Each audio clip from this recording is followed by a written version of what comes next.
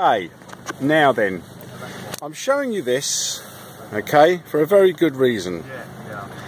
Do not, do not think of ordering from this place, alright? Maa Cuisine, alright, there's the phone number. If you ever see that, 35, was it 33, 35 Gloucester Road, Colliford. Now, I'll tell you for why.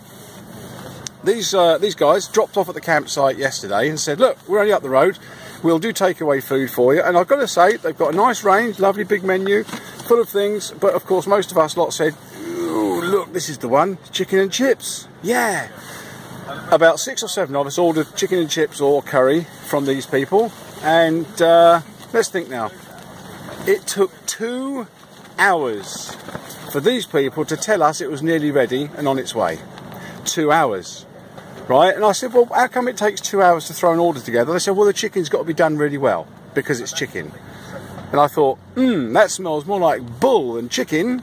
Yeah? Anyway, cut a long story short, after a lot of waiting, like I said, about two hours, this poor bloke turns up at the gate with two cool boxes full of the food we'd ordered. And I mention that they're cool boxes because the mood, the food was bloody cold. Stone cold, in fact. The chicken was raw, the chips were stone cold, lifeless, limp, pathetic, horrible pieces of crap.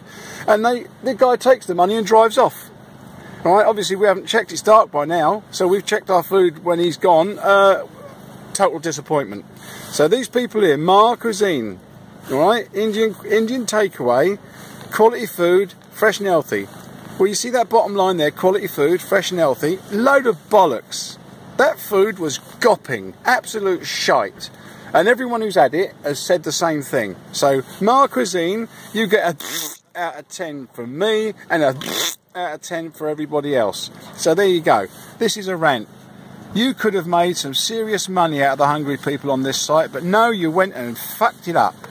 Yeah, Maa Cuisine, your bollocks. And I'm going to tell everybody that I meet. Cheers, bye.